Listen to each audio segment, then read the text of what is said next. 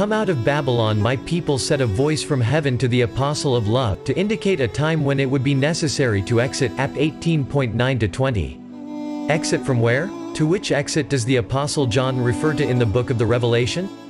Certainly not from a house where God's people would never have entered, but from a house that would have appeared as spiritual, but of which would have nothing spiritual anymore. Here then, is that Babylon described in the book of Revelation that is increasingly manifesting herself as the great prostitute sitting on the city of the seven hills, which represents the Roman Church, who has lost its friendship with God because it has betrayed the divine mandate.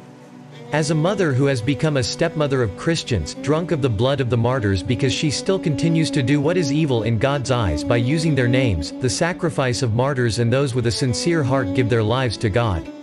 Here is the invitation of Jesus proclaimed in today's gospel, to go away from that house and shake the dust from under one's feet, a testimony for all Christians, for all men and women of good will.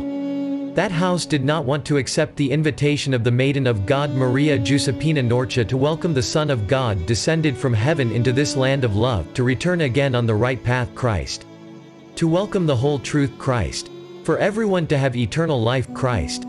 We have already come out of Babylon and invite all Christians to do the same to be able to enter the New Jerusalem. In this house that has never wanted to change the true Christian religion, but has wanted to maintain loyalty. Staying true to the authentic teachings of Christ, this is why we established ourselves as a church on October 4, 2015, and we wanted to officially and publicly shake the dust from our sandals against that house whose summit already then was not in communion with God, reason why every measure of excommunication against the people of God is invalid.